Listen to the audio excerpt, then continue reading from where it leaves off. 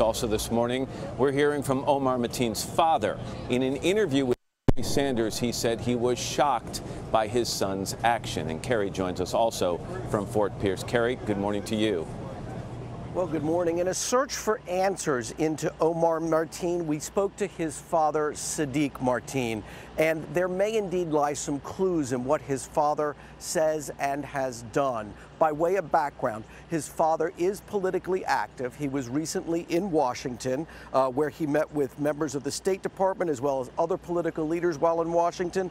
The elder Mateen, who made his trip in April, uh, is seen in social media posts, posting in front of the State Department as well as the Democratic Foreign Services Office. Now, he is from Afghanistan and he has written openly on social media about his support for the Taliban, which, like ISIS, is an extremist Islamic group in Afghanistan. The gunman's father posted a video on Facebook apologizing for his son's actions in his native language of Dari. He called his son a good boy, well educated, and living a dignified life, but also included this statement the punishment for homosexuality is upon God, and He will decide on them, not humans. Just hours earlier, he spoke at length with NBC News about what his son did. What triggered your son? This is, this is I, I am as shocked as you are. I don't approve this. In the United States, anyone has the freedom and the choice to handle his life, what he likes, how to run his life. And nobody has the right to do anything or impose anything. So I don't approve of him, what he did. Did you know that he had purchased these weapons? No, I wish I did know. I wish I did know. If, if, if I did know that he purchased the weapon, this would not have happened. This is very hard to understand. You saw your son just hours before he went on this rampage. Exactly. You and said nothing. he was one person, and this person who did this murderous rampage was another person. Two o'clock, he became another person. Did he ever talk about homosexuality?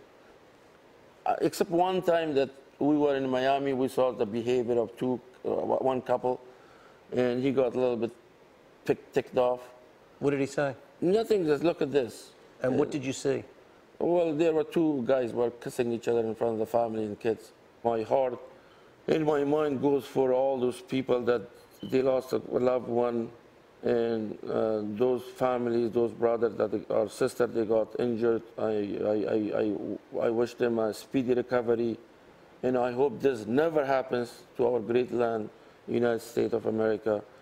And uh, American people are loving people, and they, I believe in forgiveness, and I. Uh, you believe I, that there's forgiveness here? For, for the, I, I hope so, because what my son did is, is, is a horrible thing.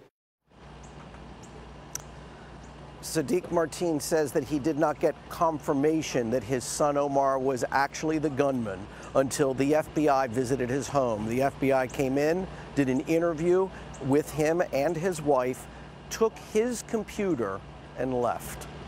Savannah? All right, Kerry Sanders, thank you.